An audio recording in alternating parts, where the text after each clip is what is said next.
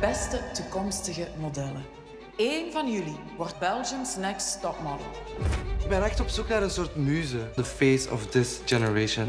Een topmodel is een persoon waar de klant op verliefd wordt. Dat is echt wauw, wat een energie heeft die persoon. Helaas moet er vanavond één iemand van jullie naar huis.